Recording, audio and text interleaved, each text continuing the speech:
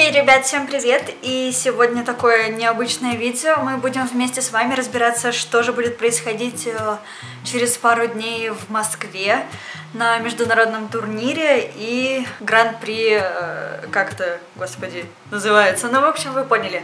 Я решила попробовать такой немного разговорный формат, чтобы э, я не просто преподносила вам информацию, а чтобы вы понимали, что я сама ищу ее в интернете, и сама все это нахожу в общедоступных э, источниках. Поэтому сегодня я буду разбираться вместе с вами и говорить, о чем я пока еще не знаю. Ну и, конечно, расскажу о том, о чем я знаю, и поставлю вас в курс событий. Итак, э, в Москве уже завтра, 14 февраля, ну для тех, кто будет смотреть сегодня, если будут такие люди, э, стартует международный турнир.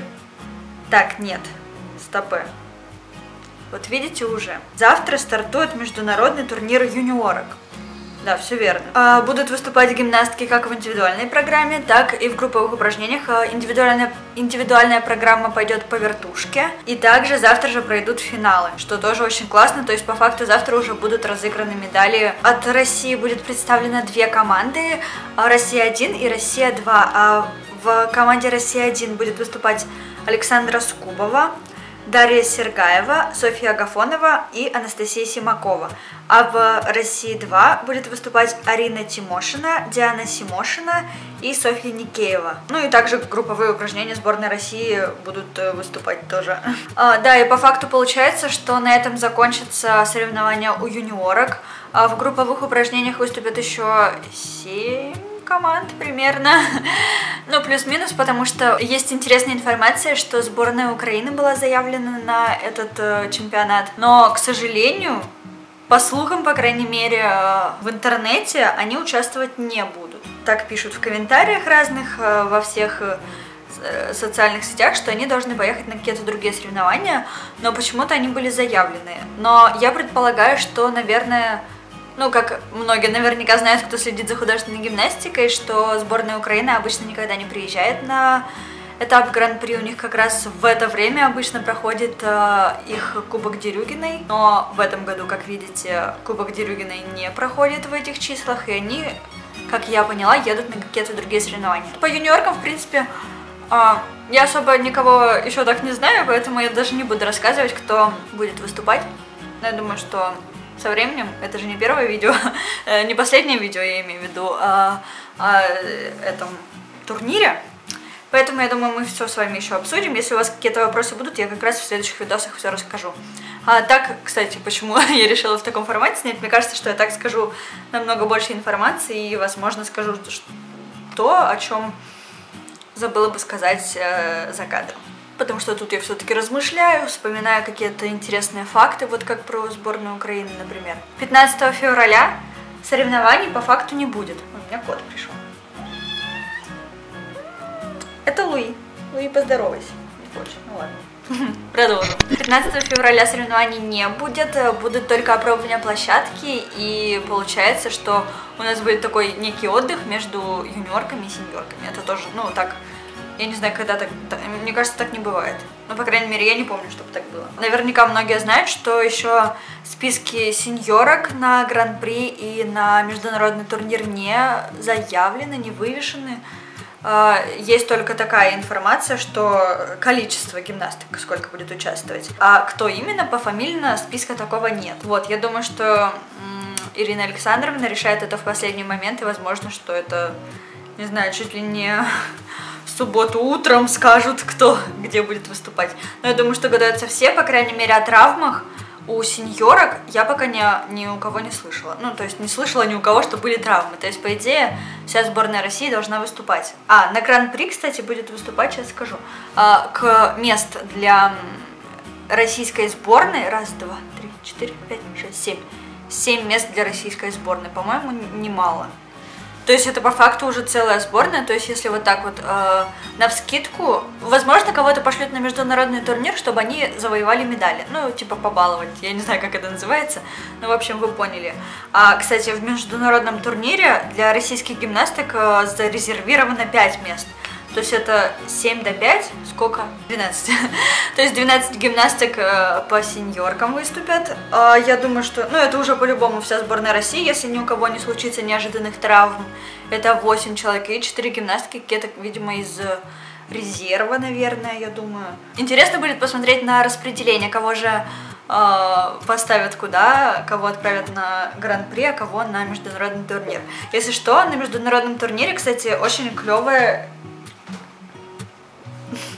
очень клевые гимнастки выступают. Там, э, ну вот из таких из самых крутых, э, вот Алина Горнаськова выступает из Беларуси, Татьяна Воложанина из Болгарии, она недавно была юниоркой тоже, ну такая, не то что крутая, но в плане, что интересно будет посмотреть на нее. А также Ким Чи Вун из Кореи и Юля Водопьянова из Армении тоже уже не раз слышали про нее.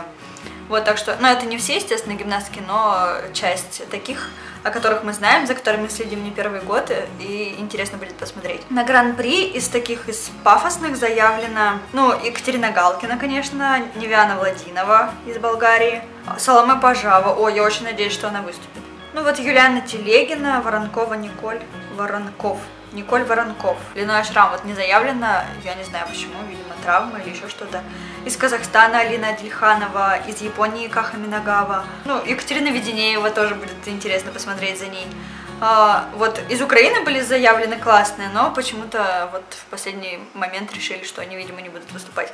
Ну, посмотрим, возможно, это такие, ну, типа фейковые вбросы, и по факту будет не так. Но, скорее всего, в гимнастике, мне кажется, не бывает таких фейковых вбросов, поэтому интересно, что там, что там будет посмотреть, и интересно, как Ирина Александровна распределит гимнастик, кто куда попадет.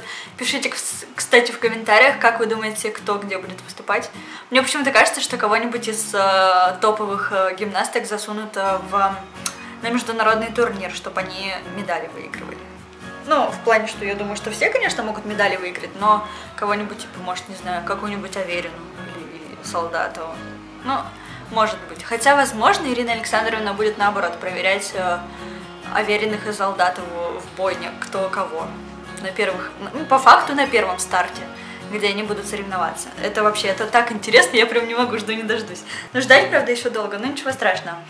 Также вот э, по интересной информации, по выступлениям, а, будут выступать групповые упражнения. Ну вот Япония интересно мне посмотреть.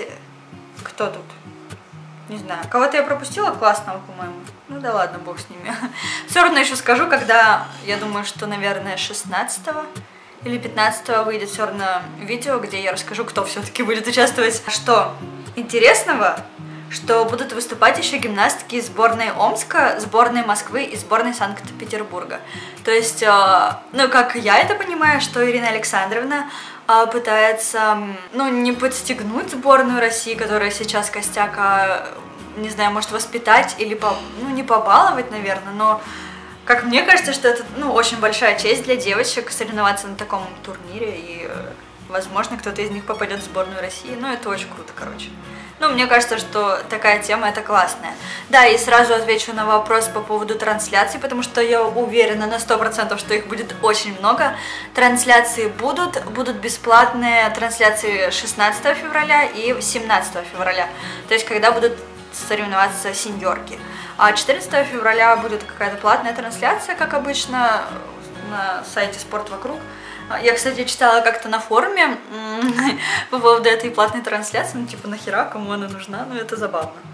Вот. Но я тоже, если честно, не понимаю, зачем делать платную трансляцию, почему организаторы не могут э, выкупить права на трансляцию. Ну, я не знаю, они пытаются, как они писали, что они пытаются не заработать, а отбить свои расходы.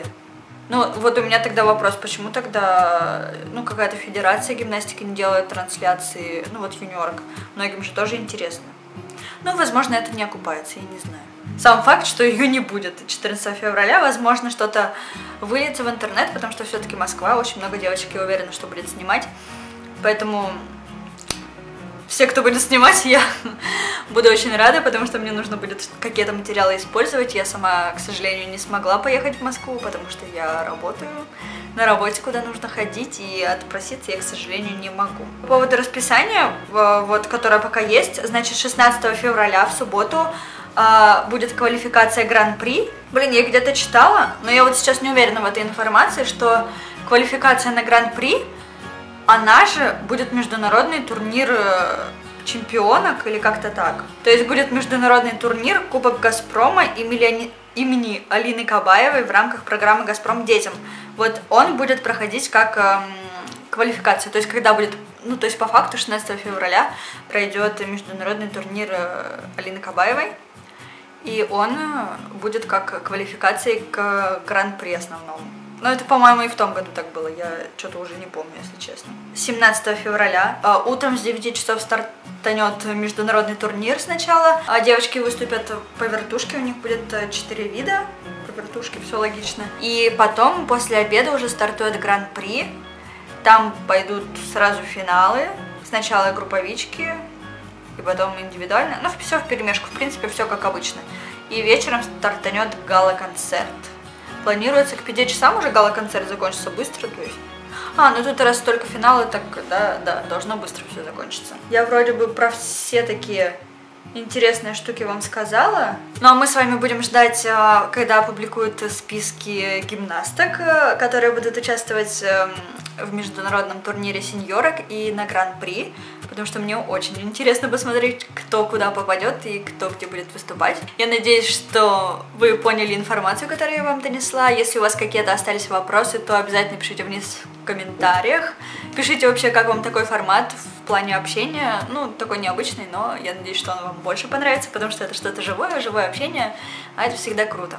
И, конечно же, пишите, как вы думаете, кто будет э, участвовать. Ну, кто куда попадет.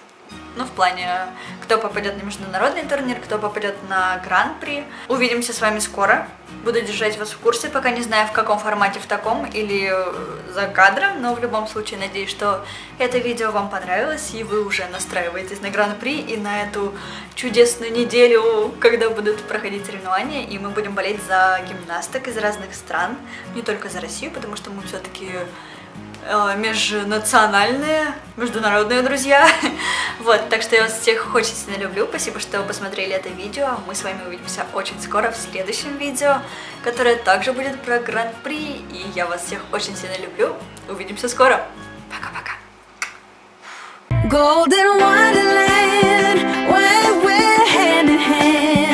Our sisterhood, our sisterhood.